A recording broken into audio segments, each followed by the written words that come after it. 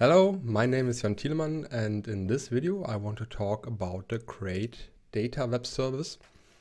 Um, if you're new to web services, I recommend you to watch my previous video where I explain the basics on how to enable and um, use web services. So um, yeah, Create Data web service. Um, the Create Data web service is one of the model-oriented web services the model AD service. And yeah, what I have done here is I have created a new web service where I want to create a user. And um, to do this, you have to enter a search key and a name. And I'm not 100% sure, but I think the name is the one you have to use as the service type in the, um, in the SOAP call. Then you have to choose which service type you want to, um, to use. So in my case, it's model, orient model oriented web service. Then you have to select the web service method, which is create da data in my case. And then you have to select the table which you want to use. And here I use the AD user table. And the reason I use this is um, it only has one field I really need to um, to give because that this one can't be null, but all the other fields um, will be um, filled by the web service by default.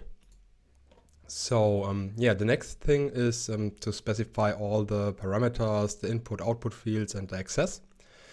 And if you have no idea what you have to put in here, you go to Google and Google for ADempiere web services, which will lead you to this um, wiki page.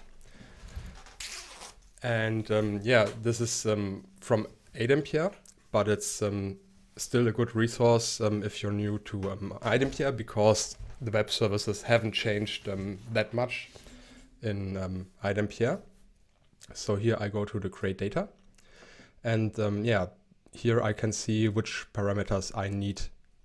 So I can have the, yeah, this, this list here is um, which parameters I need or which I can use in my call.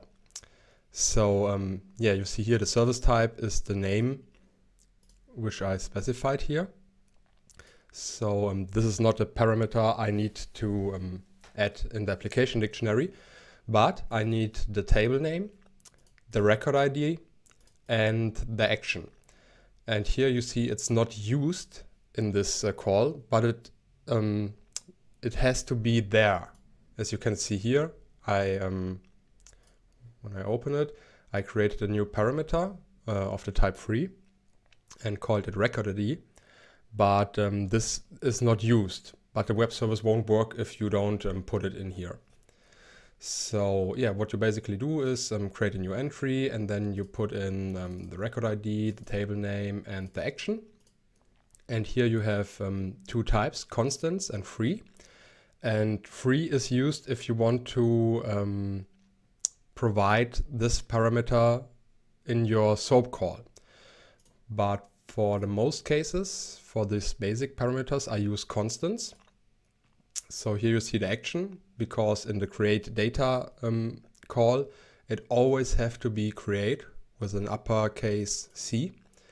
And so I can just um, put a constant in the um, in the application dictionary and then I don't have to um, give it here. Otherwise, I would have to make a new tag here, underscore zero, because um, as you see here, my namespace is called underscore zero.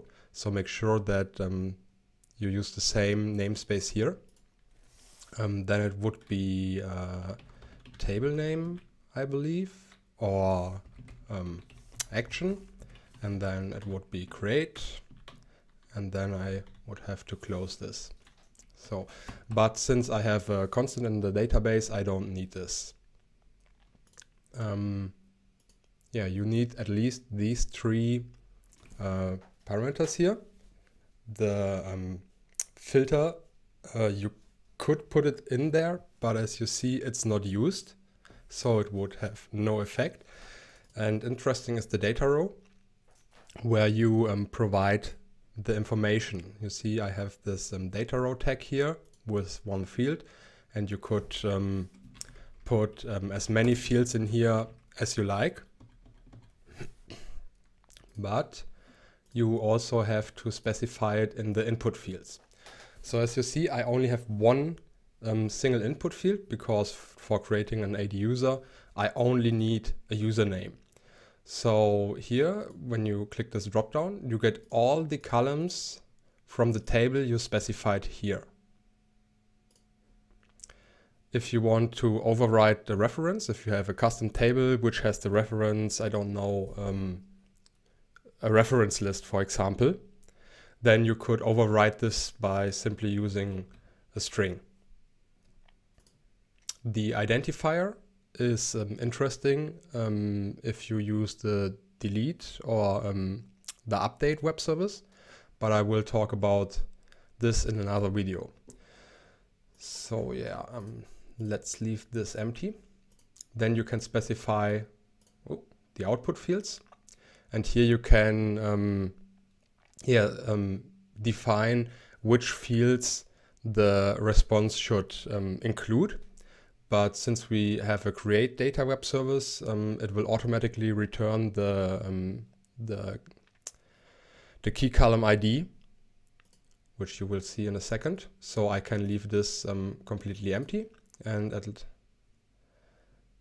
least, uh, at last, you have to specify the web service access so here you can um, define which roles are allowed to execute this web service. And in my case, it's the um, web service execution role. And then you um, create a new request, which I have already done. As you see, I use the web service user, which is um, in the web service execution role. Um, I use the language um, 192, which is English, I guess. 11 is Garden World and yeah, the role ID for web service execution is um, 50004. I use um, the warehouse ID 103 because it works, and um, the stage is um, the login stage. This was never really used, but you still have to put it in there. I believe somebody should fix this in the near future so you don't need this anymore because you have to always you always have to put a zero in here. So what happens when I execute the service? You see I get a standard response with the record ID and it successfully created a new um, user. So when I select this, uh, you see the record ID um, fits the one created here. I can um, run this again. And you see every time I run this web service, it creates a new entry. There's also um, a create update web service, I believe, um, which you can use to either create an entry if it's not already existing or um, update an existing entry. And yeah, that's basically how you use the create data web service. Quite simple, isn't it?